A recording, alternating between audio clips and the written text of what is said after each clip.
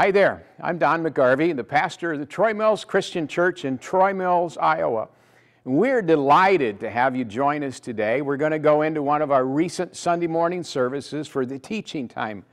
And our prayer is for you as you listen, as you read God's Word, and as you study what He has to say to you, that the Word of God will change your life and press you and conform you into the very image of Jesus Christ. Thanks again for being with us, and our prayer is that the Lord bless you greatly as you listen to this teaching. So, in your Bibles, if you would, please, and um, this is being taped and it will be put up on YouTube a little bit later this afternoon. So, uh, we're still, um, I'm still intrigued with all those who watch on uh, YouTube. So, if you're watching, thanks for watching. But uh, we'd really rather have you here. Uh, but I know uh, in Arizona and Michigan and different parts of the, the country that people are watching. And so thank you for watching. And I pray that the Lord will bless you uh, in this time as, as, as, well. So turn in Isaiah 50, or 43 uh, with me, please. And um, I'm just I, am going to share some thoughts. We're going to look at some scriptures. Uh, the, uh, the note page has some interesting things on it. I wrote uh, three things at the top about our past. I talk a lot about our past, and I know that because we've all got one. We've all got a past, no matter how old you are. Charlie has a past. Um, Arlene has a past. Some of those past may be a little bit longer than some of the others, and there may be a little more things involved in some of them. Some of us have some parts of our past that we just assume nobody know about.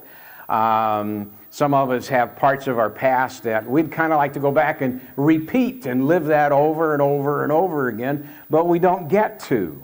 All right? Some of us are haunted by our past and we're reminded by our past uh, uh, frequently. But I wrote three things under your past is not a sentence, it's a lesson. You need to learn from your past. You don't have to live there. And that's not being punished. Our past doesn't dictate our future. I love that with, with Christ who wants to make all things new, uh, your past doesn't dictate your future. And then a great future is not dependent upon a great past. I've had people sit down with me and they'll say, Oh, Pastor, I just can't believe I've had such a rotten past. And I said, That's okay. You got a great future.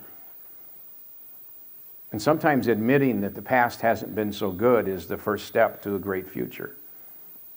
Is that we're going to go on, we're going to move forward. Um, Friday morning, we were kind of wandering around a little bit, waiting for mom to uh, uh, get up and to be around. She doesn't do that very early anymore. And so um, we went to the mall. We, we were staying at a place just not far from the mall. We went to the mall, and Chris went into a place, and I just started walking around. And it was a great mall. I hadn't been in that mall probably but once. They built it way after I'd left town there. And, um, but on in the upper level of this mall were these big pictures, about twice the size of this wall hanging, of the history of Alton, which was the town I grew up in. And I realized what I was seeing, and so I just started this whole whole upper level of the mall was nothing but these, these photos of the history of the town that I grew up in. And I, I remembered seeing some places like, yeah, I remember going there when I was a kid. And they showed the old Sears store, and the Sears store was downtown like everything else, and it had moved out. And actually, the Sears store had become an anchor store of the mall that we were in, and then Sears closed, and they actually tore that part off the mall, and, and instead of just letting it sit there empty. And so uh, I was watching that. I watched, and, and on this picture, uh, they had pictures of Robert Wadlow, who was the tallest man in the world, and, and then they had a picture of Elijah P. Lovejoy, and I, I learned some things about him, and, and then there was this uh, I'd learned something I'd never heard before my whole life, and I'd grown up there till I was 16. And uh, Alton was the home of one of the great jazz musicians named Miles Davis. I didn't know Miles Davis was from Alton, but um, uh, so uh, I just I, I, learned a lot, and it was fun to go around and to look at the past of this city. But I was so cognizant cognizant of the fact that this was the past. And on the way to my mom's, I drove by Chris and let her see one of the, my favorite bakeries in the whole world, Duke Bakery, that had been there for longer than me. Okay? And showed her a couple of things that, that had been around, and it was like, it's the, this is an interesting past. It was great times in Duke Bakery. I enjoyed that. Um, uh, but that's not where I'm at now. It's not now, it was then. And it was a good then, maybe, but it wasn't now. And I was always intrigued with what was coming down the road. And so God is intrigued with what's coming down the road as well. And so in Isaiah 43, he makes an interesting statement through the prophet and I want to make some remarks about this, and then we'll jump into a couple of other passages. So in Isaiah 43, look in verse 1 with me, and we'll get to verse 18 and 19 in just a minute. But look in verse 1 with me, and I just, you know, these are interesting things. In verse 1, he, um, he talks about how, uh, not in verse 1, but in the first part of Isaiah 43, he talks about how he brought Israel out of Egypt. Remember that story, the whole book of Exodus, how God brought Israel out of Egypt? He sent the 10 plagues. He, he changed Pharaoh's mind. He, he parted the Red Sea. He provided bread for them in the desert. He provided water for them in the desert. He, and, and for 40 years, can you imagine this? For 40 years, they wandered through the desert. Their sandals never wore out. Their clothes never wore out and they always had everything they needed. God went before them as, as a, a great cloud in the daytime to protect them from the desert heat, and He went before them at nighttime as a pillar of fire to provide the warmth for them from the desert cold. And so He was he was reminding them, he said, I've always provided for you. Okay? Then you get into a little further into uh, chapter 43, and you keep reading, and if you get down into um, oh, down into, let's see, Babylon. He talks about how that he brought them out of Babylon.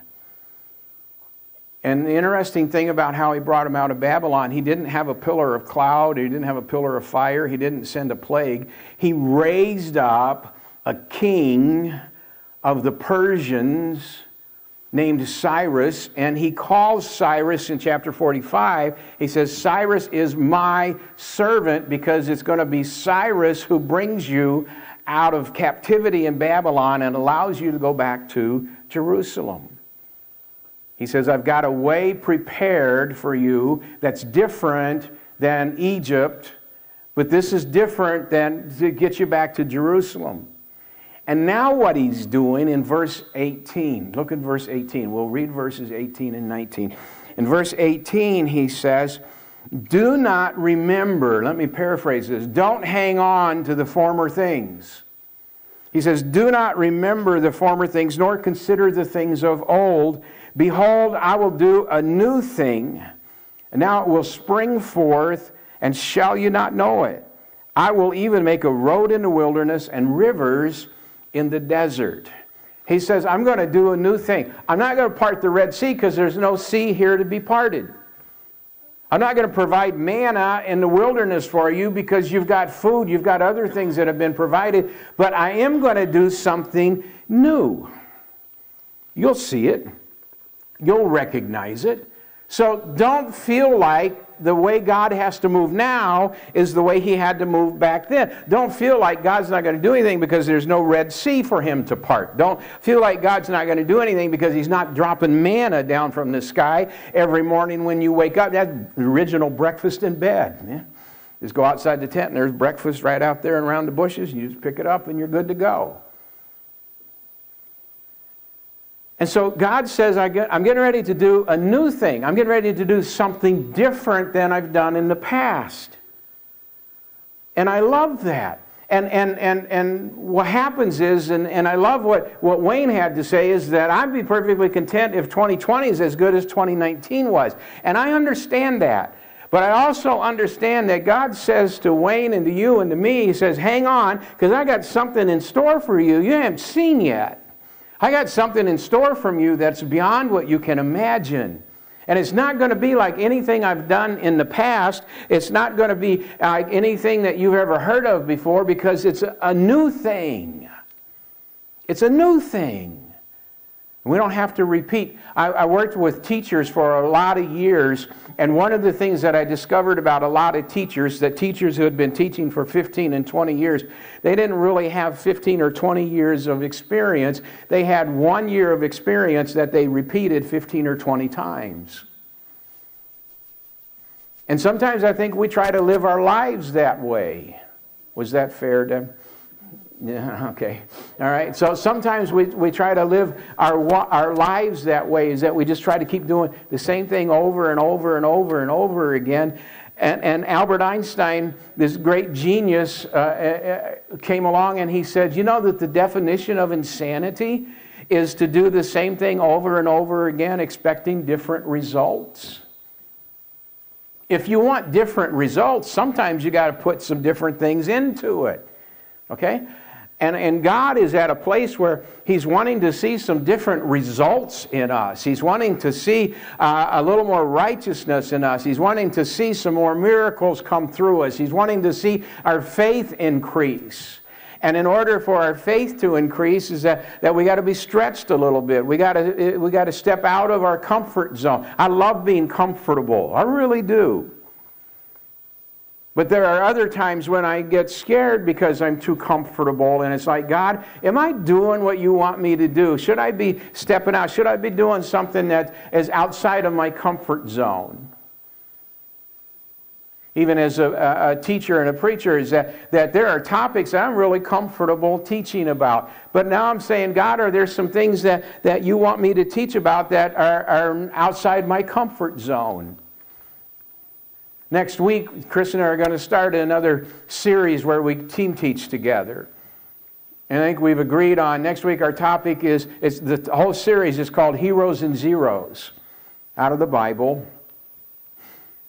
And there are men and women all throughout the scriptures that started off as heroes and went to zeros. Some of them started off as zeros and ended up being heroes. And our first one we're going to talk about next week comes out of Judges chapter 6, and his name is Gideon. Gideon was hiding. He was afraid. And God came up to him and he said, Hey, Gideon, you mighty warrior. Gideon, huh, me?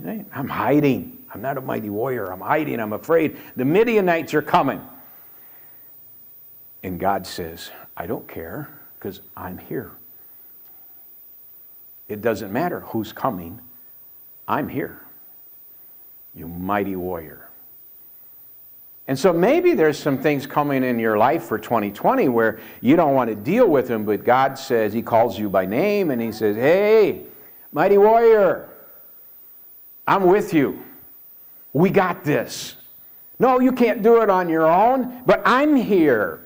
And I don't care what comes along, I'm here. And I'm getting ready to do a new thing in your life, something you've never seen before, something you've never thought about before, something you never dreamed that you would have to go through before. But I'm here. Some of us went through things in 2019 that we never dreamed we'd go through. We never would have signed up for it, that's for sure. But God says, Hey, mighty warrior, I'm here. I don't care what comes along, I'm here. And I showed you already that I could part the Red Sea. I showed you already I can drop manna from heaven and I can feed you and I can, I can create a river through the, through, through the desert. I can create a highway where there was no highway. Says, I can take the high places and make them low, and I can take the low places and bring them up. He says, There's nothing that's too hard for me. I'm here with you, mighty warrior. And so now he's saying, I'm getting ready to do a, a new thing. 2019 was great, but you ain't seen nothing yet what 2020 is going to be. And some of us are going to go through some things over the next few months that we never thought about before, we never dreamed about before. Some of them are going to be hard, some of them are going to be real blessings. We'll all sign up under the blessing sheet. None of us want to sign up under the hard stuff. But God said, I'll go through, I'll walk with you in the hard stuff as well as the good stuff. I won't leave you. The three scriptures that we speak of frequently here is in Numbers and Malachi and Hebrews, and God simply says, I don't change.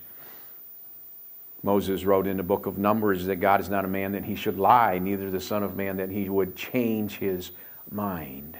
So, in other words, I don't have to wake up in the morning and wonder, well, I wonder if God's going to love me today. I think he did yesterday, but I'm not sure about today. But I can have this assurance in my heart that God doesn't change, that God's not going to change his mind. And in Malachi, he just simply says, I, the Lord, do not change. And in Hebrews chapter 13 and verse 8, he says, I'm the same today as I was yesterday, but I will be the same tomorrow. And so you don't have to worry about me changing because I'm always the same. Everything else changes. How many have noticed a lot of changes in the last few months, just in your life, period, in the world around us? Yeah, lots of changes. We, we, things change every day, except God. And God is this constant. He's this presence. He's this, this force that is always with us and that He's always ready to do something new in your life and always ready to do something new in my life. You know, if you want 2020 to be different and better, maybe there are some things that you need to do differently. I don't do this very often, but if you need some help in making 2020 a little bit better, if you need some help maybe talking about some goals and some objectives to meet those goals, I'd be more than happy to sit down with you. We can talk about them. We can sit there and say, what do you want 20 what do you want to be looking like a year from today, when we get to the end of 2020, what do you want? What do you want things to be? And then we just work backwards from that. That's what you want? Okay, so what do we have to do then to get from where we are to get there? Maybe that doesn't sound very spiritual to you, but God works, He orders our steps. The plans, He, he has plans for us, and He'll do that and He'll provide for us. I have a couple of scriptures that I, I, I want to share with you before we get into some of Paul's um, examples of uh, athleticism. But in um, 1 Corinthians chapter 2 and verse 9, excuse me, 1 Corinthians chapter 2 and verse 9,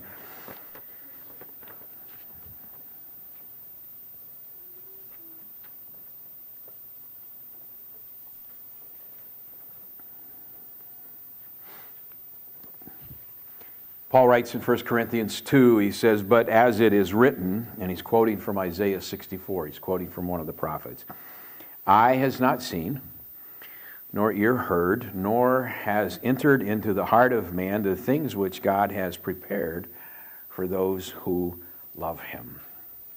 I can tell you with all confidence in the world this morning that the plans that God has for you are good that his plans are not to harm you, his plans are not to make you sick. He doesn't have a disease to give you. His plans are to bless you, to give you a hope, to give you a future, to give you peace, to give you joy. All the things that we talked about during the Advent season of hope and joy and peace and love, those are, are, are the fruition of Jesus coming as this baby born in a manger. And He wants to do things in your life, and He wants to do things in mine. He wants to do things in the life of this church. But in order for 2020 to look different in the life of this church, we've got to maybe make some changes. I mentioned last week we have a facelift team, not for me. That may be, that might help improve things, Deb. I never thought about that, but uh, can your computer do that? Enhance it? Yeah, oh, okay, all right. Um, but we have a facelift team who's working to maybe change the front of our sanctuary and some of the changes as we roll them out for you to see before we do them. Uh, I think will be uh, an enhancement to uh, to the church. And so um, now, now there, let me. I, I'm going to get into Ephesians just a minute, but I got to make sure you understand this because something new comes along does not make what has been bad. You follow me? Just because we make a change or two doesn't mean that what we've been doing was bad. It does mean that what we've been doing won't sustain us for where God wants us to go. Isaiah 43 talks about that. He says, I parted the Red Sea to get you out of Egypt. But since there was no sea in Babylon, I didn't do it that way then. I did another way to get you out of Babylon. And he says, I've got some new things that I want to teach you and new things that I want to show you. And, because, and here's, here's why I think happens. Because you have been faithful in the things of your past, I'm ready to do something new in your future. I'm ready to help you grow in ways that you've never grown before as an individual and as a church. I'm ready to help you think differently about some things and maybe about some people than what you ever have in the past in order for you to get beyond where you are. That in order for us to do to see different results, maybe we've got to do some different things. I have a friend, and I didn't know this, and he watches on a pretty regular basis, but I didn't know several years ago, many years ago, he might remember, I don't remember. I, I made a statement to a group of, of, of people that I was teaching, not here, and I said, The things that worked in your past aren't going to be enough to sustain you for your future. And that's why God wants to do a new thing. The responsibilities that we have change. When you were a single person, before you were married and before you had kids, your life was way different than, than you got married. And then when kids come along, things were way different. And then grandkids come along and things are different again. And so you need different skill sets from being single to being married to being a parent to being a grandparent. You got to have some different things working in your life than what you did before. And it doesn't mean that before was wrong. But it means that what was working for you then wouldn't sustain you for today. Does that make sense? And so God says, I'm getting ready to do a new thing. Don't fight me. Don't hang on to the things of your past so hard that you can't have something new come into your life. Think with me now. I think about this a lot when the, the changes that people have seen. How many remember a time when there wasn't electricity in your house? Uh huh. It's kind of nice to turn the switch on and there's lights, isn't there? That was quite a change, wasn't it? How many remember when there wasn't indoor plumbing in their house? Uh, in the wintertime, it's really nice to be able to roll out of bed and hit a warm floor instead of a sheet of ice, isn't it? Uh huh. Uh, how many remember when there wasn't air conditioning in your house and you sweltered all? I remember, yeah. Okay, so so God says, don't hang on to the past. Can you imagine that? Think with me for a minute. Well, I don't want an air conditioner. I like melting into my shoes. I like getting out of the bed in the middle of the night, in the middle of the winter, and running out through the snow to go to the outhouse. You'd look at them and you go, What is wrong with you?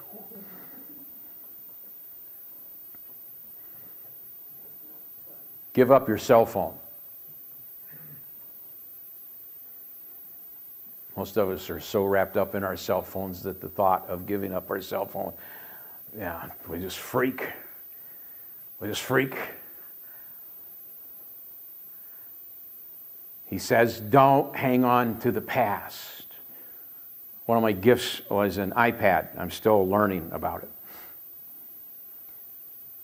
And the iPad can do so much more than my cell phone. It can do so much more than my laptop and all these kind. And I'm going unbelievable. Like and and uh, I have I have more um, computer technology on my wrist this morning. I've already read messages on my wrist while I'm standing up here. I have more technology on my wrist than I could even possibly have imagined 10 years ago, Coach.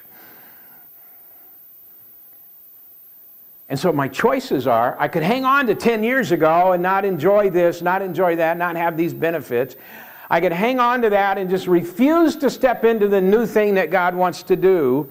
And he promised in, in 1 Corinthians chapter 2, he says, Look, I got some things that you ain't never seen before. And not just in technology, but in my spirit, man. He says, I've got some things you've never experienced before. You've never heard about these things before. And, and, and, and here's the danger, okay? I, I, I used, I, I've been around people who just say, well, history is cyclical and just goes round and round and round. No, that's sinful. God never intended for history to be cyclical. He said history has a start in the beginning and it has an end. And he says, and I will dictate the beginning and I'll dictate the end, and I got everything in between. You don't have to repeat your mistakes. I don't have to repeat the mistakes of my mom and dad or my grandma or grandpa's, or I don't have to repeat the mistakes of anybody. I get to make my own. Okay? But I don't have to live and I don't have to go back and, and just recycle everything. I, I don't have to do that because God says, No, I got a plan for you. And the plan is to take you from here to there. And there may be a couple of bumps and there may be a couple of roundabouts in there, but and there may be a mountain, there may be a, a valley. But He says, I'm going to get you from here to there. And it's going to be in a way that you never dreamed of before, you never heard about before. I love, and I do a lot of reading about the history of the church, not just this church, but the history of the church, period, around the world. And I, and I love church history, but I love the fact that we can learn from it. We don't have to repeat it. We don't have to repeat the errors of the Crusades. We don't have to repeat the errors that, that were made in, in, in, in, the monastic movement where they all headed for the hills because the church was too secular and too worldly. And they all went and they found a, a, high mountain and they built this monastery and they hid. That was a mistake. Jesus says, You're salt of the earth, you're the light of the world. You got to be in the earth, you got to be on the world, you can't be hiding on a mountain in order to fulfill the commands that Jesus said. And he says, Hang on, because I'm going to do a new thing. And in Ephesians, turn uh, into Ephesians chapter 3 and, and, verse 20. And I really do love this passage of Scripture in Ephesians chapter 3. And, and, and it's kind of a benediction, it's a doxology of sort, um, but it, it's a benediction. And Paul writes, and he concludes the first half of. Um, the letter to the Ephesians, the first chapter 1 and chapter 2 and chapter 3 of Ephesians is a teaching section of Scripture.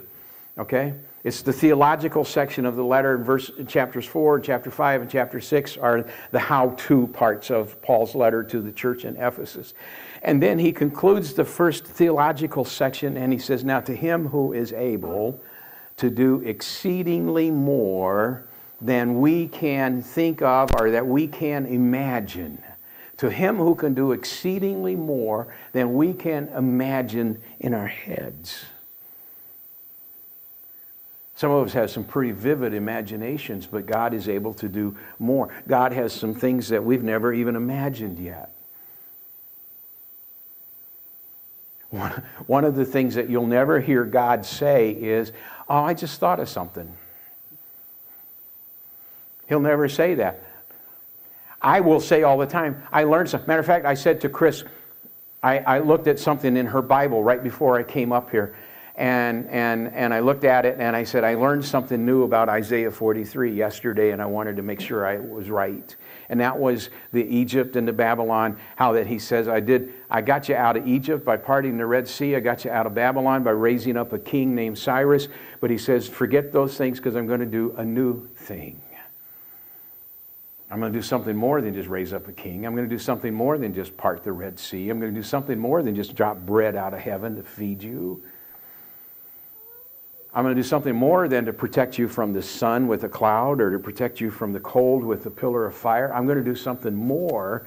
No, you can't, haven't imagined it yet because it's something your eye hasn't seen, your ear hasn't heard, and it goes above and beyond what you can even begin to imagine. What a great promise that is. And it's a promise for you and it's a promise for me. And I'm not going to get into Paul's uh, examples from the world of athletics. They're all over the scriptures. He says, I got to go into training. He says, I beat my body to keep it into submission. He says, I'm running a race.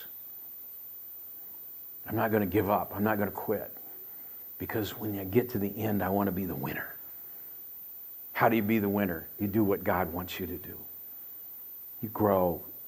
You look at 2020 as not something to be feared, but something to be, oh boy, here we go. When I was a kid growing up, we watched Little Rascals all the time. We were, and we watched them. Okay? I know none of you can relate to that. I've been around some of you enough to know it's pretty tough to deny that you weren't a little rascal. One of the little rascal things that I saw was they had built this go kart. And it looked like it was ready to be junked right after they built it. But they were up the top of this hill and they're all excited about headed on this go kart. And they all jumped on, and one of them yells, We're on our way. And one of them says, Where are we going? He says, I don't know, but we're on our way. And that's what I like about walking with God. I don't know how it's going to end. I don't know what next year is going to look like, but we're on our way. And the cool part is that I don't have to worry about the go kart falling apart because God's got this. He's got a plan. He's got a new thing He wants to do. And He says, Let's go. Let's go. He says, You with me? Yeah, I'm with you. I wouldn't miss it. I don't want to miss it. I want to see what God's got in this next few months. Here, here, there. I want to see what God has in store for us because here's the thing I know it'll be good. It's not meant to hurt me. And it's going to be something that I've never seen before because eye hasn't seen and ear hasn't heard. And I serve a God who's able to do abundantly above and beyond what I can imagine. Stand with me, please. Father, we thank you for your faithfulness in times past. And if we could really get going this morning, uh, we could sit here for a long time and talk about the faithfulness of God in 2019 and in 2018 and in 2017 and just on and on because our lot, we're here today because of your faithfulness. Somehow, in some way, you were faithful that, and it sustained us to this point. You're not going to change, you're not going to stop. Your faithfulness will continue through however many days ahead that we have through 2020, through 2021, and on and on till Christ comes back. Your faithfulness is there to sustain us. And so, God, whether we're struggling with things coming out of 19, worried about things coming up this next year, I pray, God, for the peace of God that surpasses all understanding to be ours. I pray for an excitement of what God has in store that we've not seen yet, we've not even heard about yet, and we haven't even begun to imagine it yet. But your great faithfulness has this plan for each and every one of us. And you told us to forget the past, not to hang on to it, but to look forward to the new thing that you want to do. And so we say yes to that. And we say thank you for your great faithfulness. And we'll give you praise and we'll give you thanks now in the name of Jesus. Amen. Amen. God bless you. Thanks again for joining us for this teaching of God's Word. If you're ever in eastern Iowa, anywhere close to Troy Mills, Iowa, you're welcome to join us every Sunday morning at 10 o'clock right here in the sanctuary. I promise you there'll be a seat just for you. Thank you again for joining us, and may the Lord richly bless you as you continue to follow after Him. God bless.